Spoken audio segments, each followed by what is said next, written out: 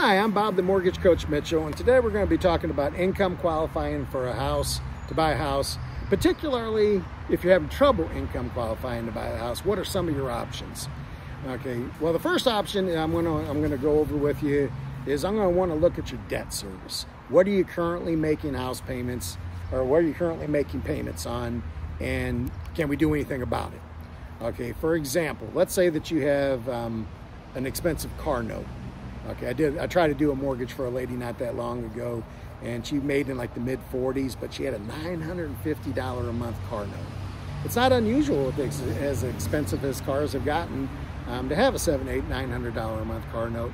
Anyway, in this particular lady's situation, it precluded her from being able to buy the house that she wanted to buy. So the first thing I'm going to do is let's look at your debt service. Okay, do you have a car note? If you have a big car note, do you have enough equity in that car to be able to sell it and pay the loan off. Um, if you're underwater on it, that's not necessarily an option. So, um, you know, or if you do, if, you, if it's a short sale, you might have to make an arrangement with the lender to where you continue making payments on the on the remainder that was left. Uh, and I have to, and, as long as I can document that, that's all fine and Jim Dandy to do. I just have to document what the payments are and how long it's going to be and that sort of thing. And I have to factor those into your ratios. But if you're getting rid of a $950 a month car note and instead you're just going to have a $100 a month signature loan with your credit union while you take care of the deficiency on the uh, on what the car was, that still might be an option, that sort of thing. Um, if you have a bunch of different things that you have financed, uh, I did a loan not that terribly long ago for a guy that had uh, two or three car notes. He had two motorcycle payments. He had a camper payment. He had balances on five or six different charge cards um, it wasn't surprising that he, he was having difficulty income qualifying. So what we did to get him into the house was I sent him to his credit union and he did a debt consolidation loan. Um, I think he took a couple of the motorcycles. I think he took both of the motorcycles and he put it in there. He put all of his charge cards in there. He refinanced his car to a lower payment. Um, he took it back out to like 72 or 80 months or something. So he got it. He, got his car payment down, and he got a debt consolidation loan, which paid off the minimum payments on those. It, it paid off the charge cards, so he didn't have to use each one of those minimum payments against him. And he got rid of his motorcycle notes. We were able to get him into the house. So that's the number one thing I'm going to say is let's see what we can work with for just you. But let's say that that's just not going to happen. Um, it's just too difficult. Um, the other thing we can look at is getting a non-occupant co-borrower. Now, notice I said non-occupant co-borrower and not a co-signer because in mortgages, we don't really have co-signers. We have non-occupant co-borrowers. The basic difference is, is that the non-occupant co-borrower is going to be on the title to your property. Okay, so that's you know something to consider. You got to trust the person. You know they're gonna they're gonna be a co-owner with you just as if they they they're gonna own uh, you know, whatever percentage undivided interest in the property. So you need to make sure that you're comfortable with that person. But anyway, in mortgages, know that we have non-occupant co-borrowers, not co-signers. Okay. Um, a non-occupant co-borrower, um, depending on the program, uh, Fannie Mae and Freddie Mac treat them a little bit different.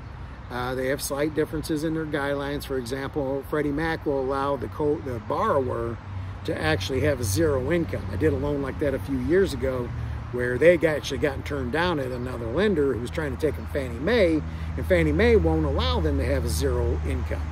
Okay, Freddie Mac, on the other hand, will allow them to have zero income and let all the income come from the non-occupant co-borrower. Okay, that's how we were able to get this guy into his house. Okay, anyway, um, again, I'm not, I don't want to go into the weeds too much on the on the underwriting guidelines, but basically, one of the things that you're going to have to do is you're going to have to be pretty much related to the person who's the non-occupant co-borrower. FHA will allow you to have a non-occupant co-borrower who you're not related to, and when I say related to, I mean by either blood, by marriage, or by law. For example, a foster child. Okay, uh, say your your foster child is the one that's trying to buy the house. Um, well, technically you're not related to them, but due to the nature of your relationship and by law, you are related to them, so we can use that. But even with FHA, even if you're not related at all, as long as you can document a close relationship, okay, uh, I, I did one where the borrower had grown up and actually lived in the person's house for like the last five years before they went away to college. Never did anything official with an adoption or anything along those lines, but we were able to substantiate that the person lived in the house while they were going to high school and that sort of thing. We were able to get it done. So again, I don't want to go too far into the details. I just want you to know that if you're having trouble, difficulty, income qualifying to buy the house, there are some options. Reach out to me or reach out to another qualified loan officer to find out what your options are, what the different program guidelines are, how we might be able to squeeze you into that mortgage. So if you have any questions, if I could be of service to you in any way, please feel free to reach out to me in the comments or you can go to the website and drop me an email or you can give me a call. I'll be more than happy to answer any questions. No, no pressure, no obligation whatsoever. Um, if you're in a state other, I'm only licensed in North Carolina, so if you're in another state, I'd be happy to refer you to a loan officer in another state um, that might be able to help you with this sort of situation. So anyway, I'm Bob the Mortgage Coach Mitchell. Please know that if there's will, generally there's a way. Um, now let's put you into a house.